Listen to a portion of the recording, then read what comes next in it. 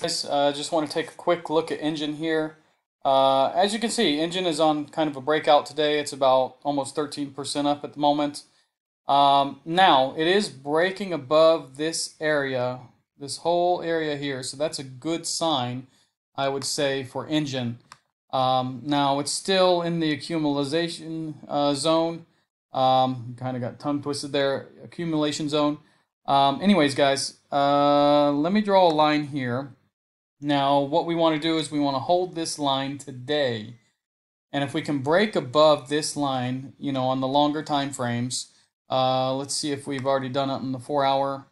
Uh, ooh, it's right on the border. So, but yes, if I zoom and zoom and zoom, you can see that it did close this candle above this line.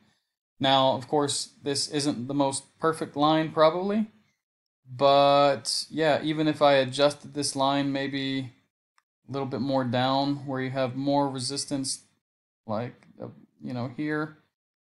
Uh, there we uh, I'll leave it there, guys.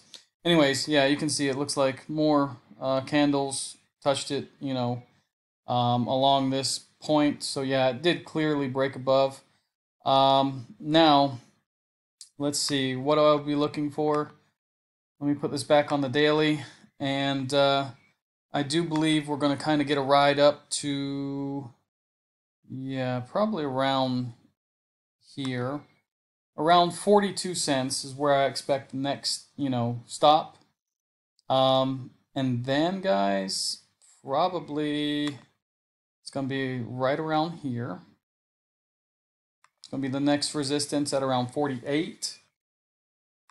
And, you know, basically, I would say if we get up to the top of this again, 66 will probably be, you know, riding up a little bit more higher.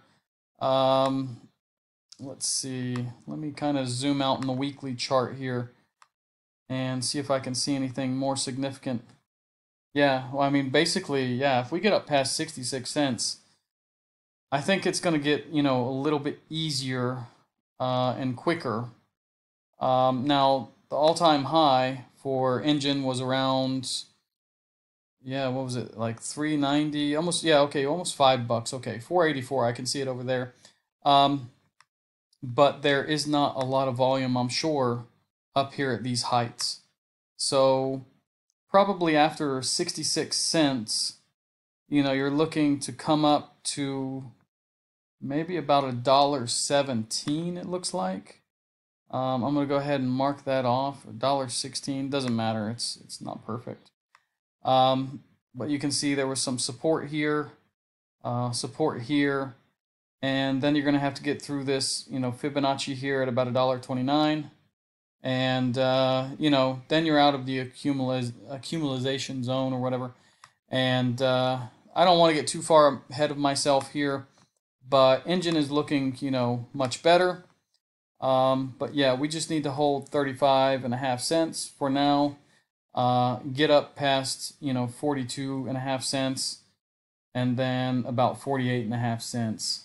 You know those are the next uh, zones of you know resistance we need to break. Not zones supports or resistance lines we can say.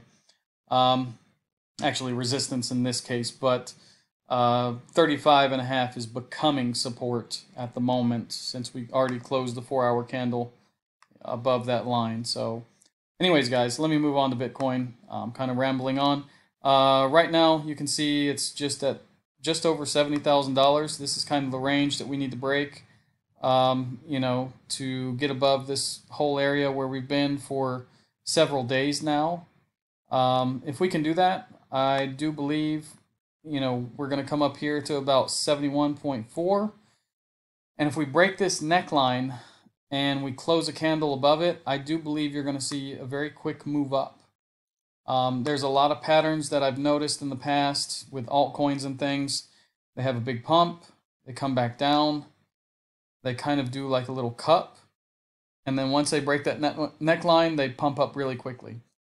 So I believe Bitcoin is probably days away from something like this, maximum. Probably by the end of the week, you'll probably see a, a pump on Bitcoin. and you'll probably see the highest close that it's had.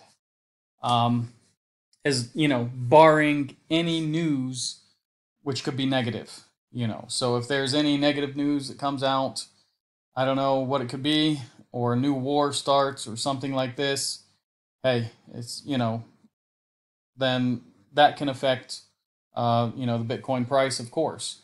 Um, but anyways, guys, uh, it is looking better. Uh, I would prefer a close over seventy thousand or higher, and um, you know, basically Enjin, like I said, looking much better. So we'll see where this can close today. But yeah, anyways, guys, if you like this video, like, subscribe, activate the bell, and I'll see you guys in the next one.